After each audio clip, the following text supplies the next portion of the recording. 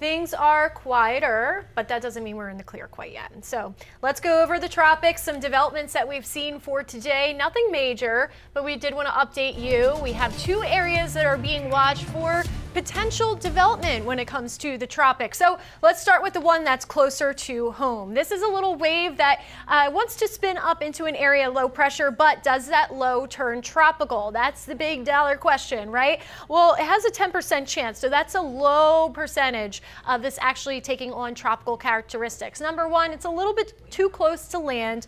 Number two, we also have some breezy winds the next couple of days. So it's going to struggle to turn tropical with just those two things. But but I will say that it's kind of placed where the Gulf Stream is, so it definitely has plenty of moisture and heat to work with.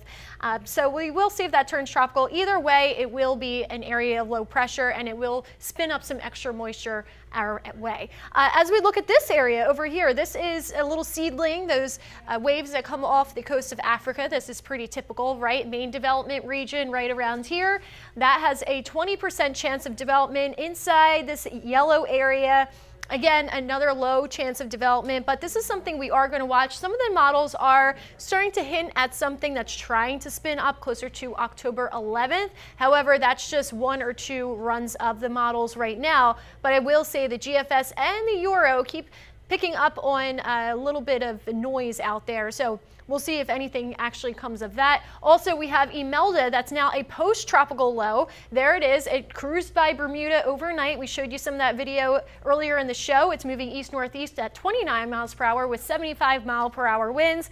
Now, did it actually make landfall? No, it didn't. So in order to have official landfall, the eye of the hurricane needs to move um, perpendicular or it needs to basically cross over over land, and it did not do that. You see the center of the storm, indicated by the red line here, the historical data, shows it just south of Bermuda by about seven mi miles, and that's using our in-house measuring tool. So you can give or take on that seven. But the important part is that it was just south, the center of the storm, of Bermuda. So it didn't officially make landfall. However, they still had the gusty winds because remember the strongest winds are around the eye of the storm.